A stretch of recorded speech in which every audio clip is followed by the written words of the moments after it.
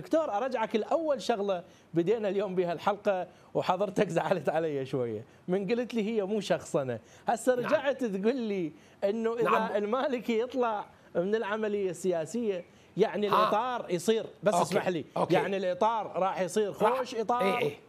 هاي النقطة اشرح لي إياها لا هاي مو بنظر سيد مقتدى الصدر المالكي المالكي أجمع الشعب العراقي بأكمله سنة وشيعة وعرب وأكراد وذاكهم كان يتهم الكرد بأنه يطلعون النفط إلى إسرائيل وكان يتهم الكرد بكذا. هو المالكي استخدم سياسات عدائية مع الأطراف الثلاثة الكرد والسنة والتيار الصدري هاي وحدة. الصورة الذهنية للمالكي ما عادت تقبل المالكي مرة أخرى. هذا على مستوى الشارع العراقي. فسيد مقتدى تقمص دور الشارع العراقي وعانى معاناتهم في التصدي إلى المالكي.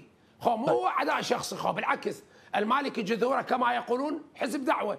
والتيار الصدري جذوره صدريين واثنيناتهم يلتقون بفلسفه محمد باقر الصدر. لكن هذا لا يعني إنه إنه إذا هو حزب دعوة كون نغض النظر عنه أو إذا هو صدري فاسد نسكت عنه. لا سيد مقتدى طيب، ما عنده هيك. أسأل